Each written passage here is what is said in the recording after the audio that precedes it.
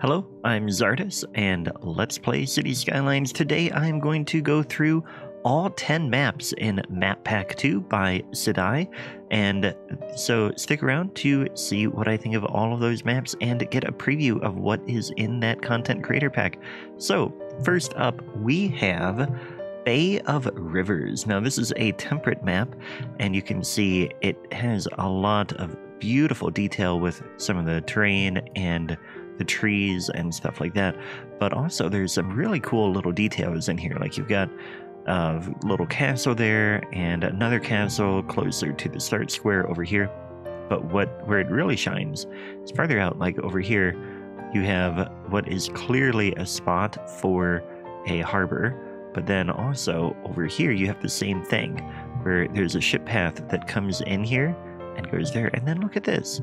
This is a road that appears to be under construction. And then over here, you can actually see the little construction uh, taking place, or like maybe it was started and then never finished. But I mean, I do wonder where that road would go over on this side, but that is another little uh, detail there. And then also over this way, you can see there's a spot for a truck runoff here as the trucks would be coming down, they would have a, a way to come off here. So there's just little things like that that make this map pretty cool to look at. Now, actual gameplay wise, let's take a look. Here is the start square, and we are pretty flat here. You have the road in there, and the road itself has one, two, three, only three connections off the map. So you will have traffic going through on this uh, road here. And then you've got the rail that comes in here very nicely. So you don't have to go very far to get the rail, and that is always nice. Train wise, it is absolutely flat there. And then you have a lot of space to expand out this way or out that way. So if you're doing 9 tiles, you have a lot of room to build on here. If you're doing 81 tiles with the mod 81 tiles 2, then you can really uh, see a lot of the detail and work with a lot of things. Now, let's look really quick at resources as well. And we have trees all over the place. We have a little bit of fertile land and a little bit of ore, a little bit of oil. Mostly, though, those have been used for painting to get some of the coloring on the map. So that is one thing to keep in mind. Now, let's move on to the next one. Next up, we have Desert Valley. This is technically a European theme map, and we are uh, looking at a really cool bridge here. But for the most part, this is like a you know, there's a canyon and then there's lots of rockworks and mesas over here. So it's pretty cool. It's a desert map. And I mean, obviously, it's a desert map. I don't need to state the obvious, but it has some really cool rail features where it just like the rail comes over here, a very nicely done rail bridge through here, and then it curves around and curves this way. And then it actually, this one disappears, but it goes out over that way. And then there's these crop circles, which are little trees and that is pretty cool too. You've got a couple of old farms in here, or old farmhouses, I should say. Then you've got a pretty cool interchange here. And then over this way, we come to the start square. So in the start square, you have your water, of course, so that if you don't have Sunset Harbor, you can uh, have your, your water treated there and stuff like that. But uh, then we also have the road connection that goes out one, two, three, four ways. And of course, it does have the uh, intermap traffic through there. And then there's this giant crater just right over here, which is another cool little feature. But uh, yeah, anyway, then resource wise, let's take a look at that.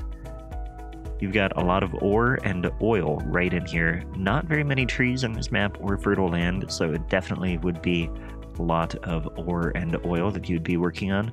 And terrain wise, we are mostly flat right around the start square, which is what you want to see, especially if you are not using mods and you are limited to that uh, nine tile area.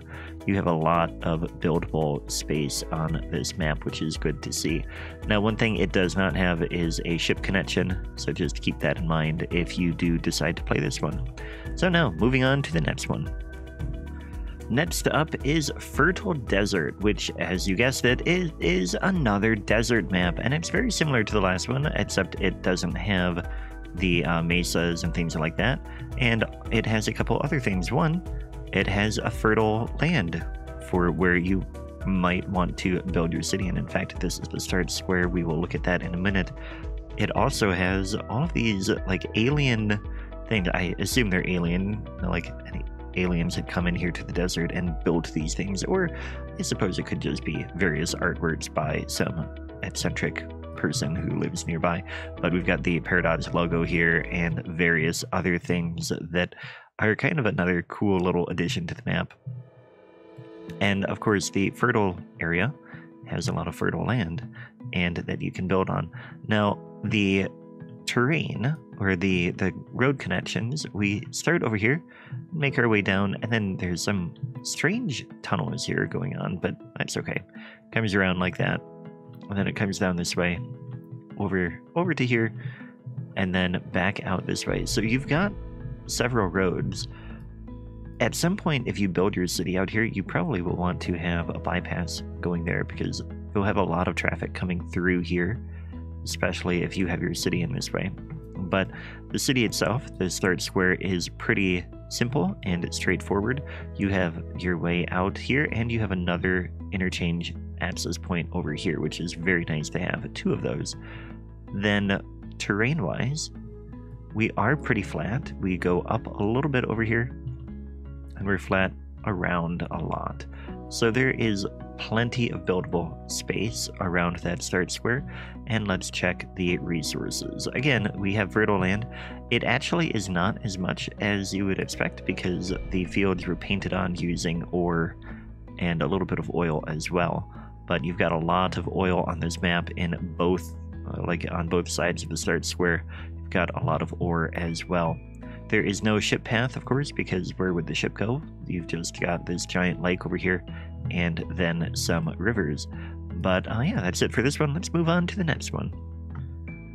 Okay, now we have Hilly Strait, which is a boreal map, and as you can guess, you have some major hills over here and a strait so the ships can get through here and you've got a very flat area in the center to build a pretty major city here now, there's a couple things about this map that stood out to me detail wise. You've got a couple of spots where there are fake dams, which is pretty cool.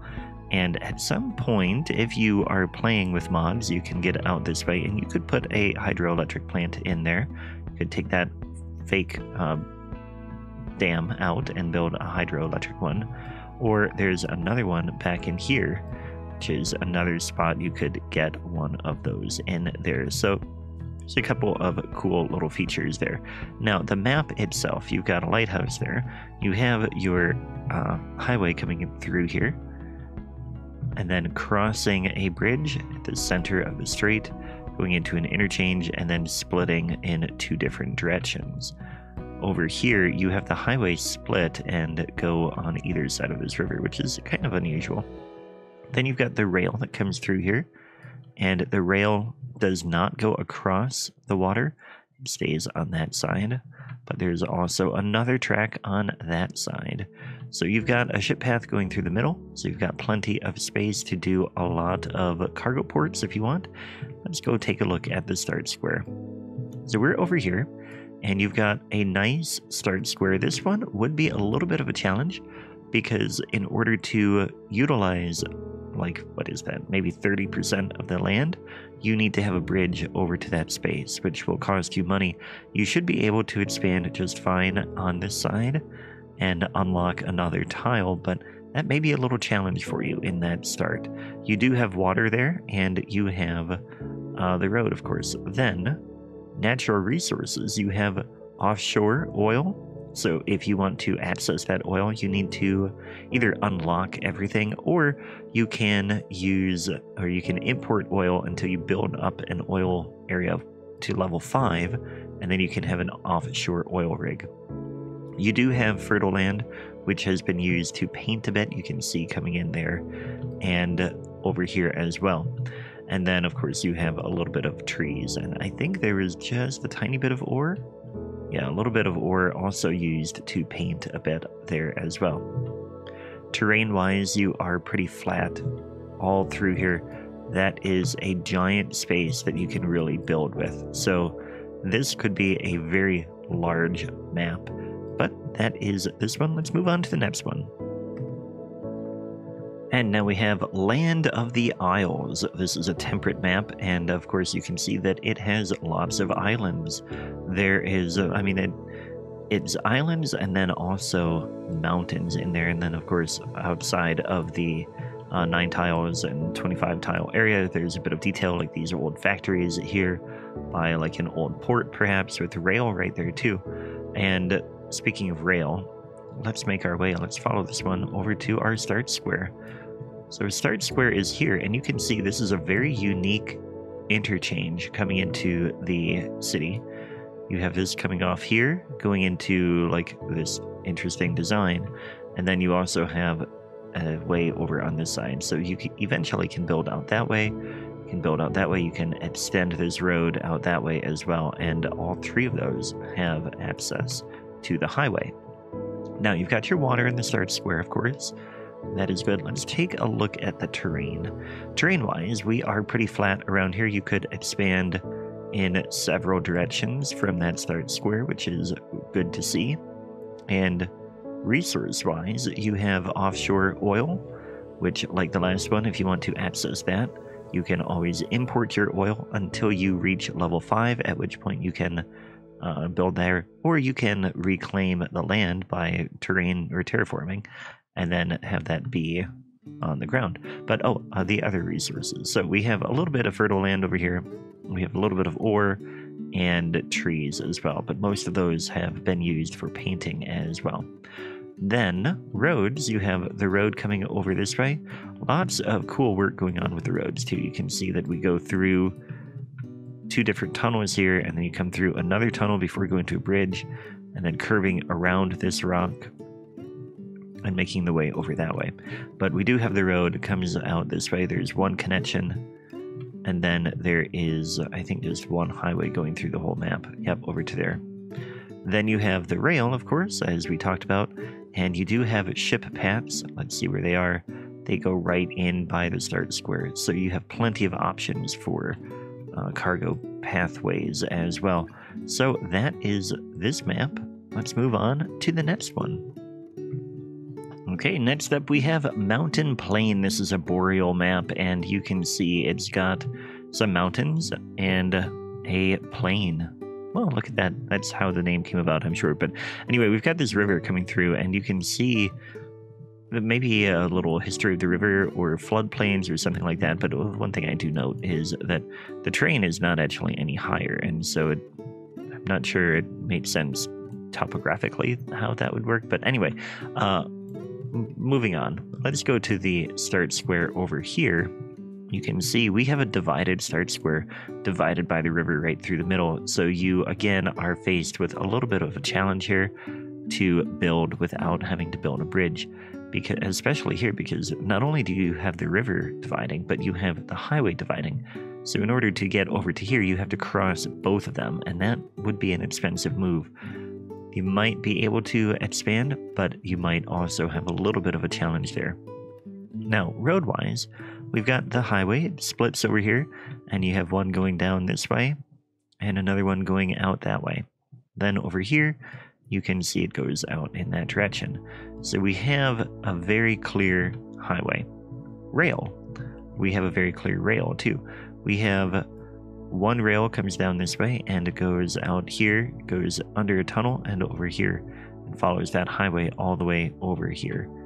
Then we have another one that goes out this way and eventually follows that highway. So you have two rails coming through, and then, oh, you have another one that splits and goes out that way. But they pretty much follow the highways.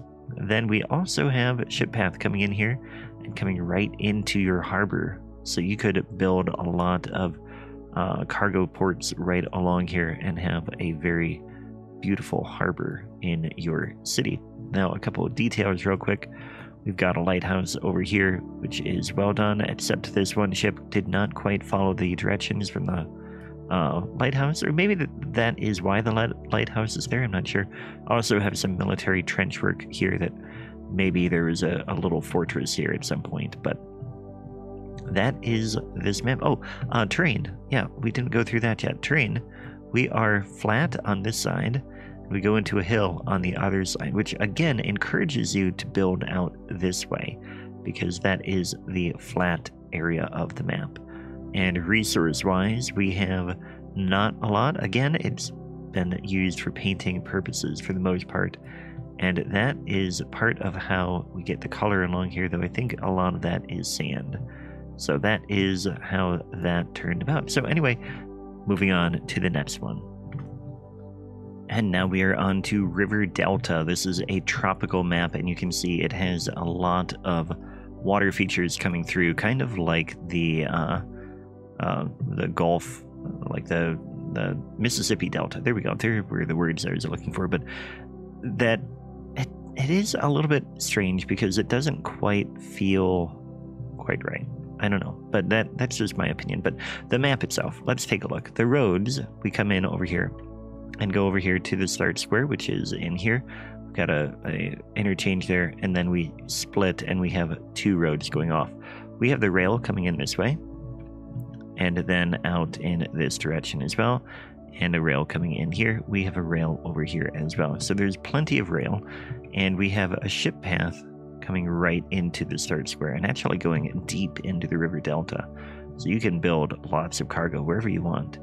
The start square itself has a ton of buildable area, so you should be able to build out from there. You've got an interchange here, which feeds into that and is a bit of a complicated interchange, but it get, gets the job done. It's kind of like a clover leaf, but also other things. So it's interesting. But anyway, it comes over here and then you've got your start square.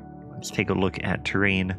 We are very, very flat on this map. There's like plenty of places you can go to build.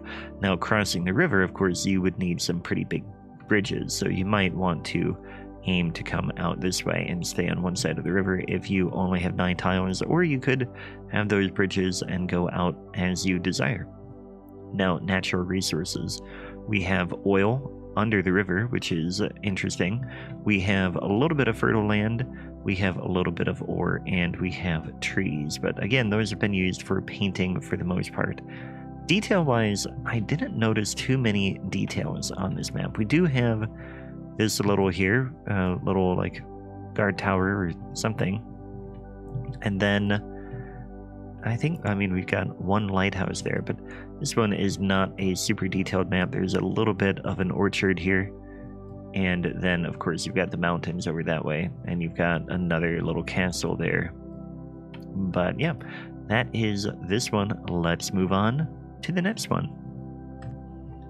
Okay, now we have River Plains. This is a rather flat map, another builder's paradise and you have a giant river coming through that you can see has a ship path in it. It goes all the way out into the, the mountains a little bit.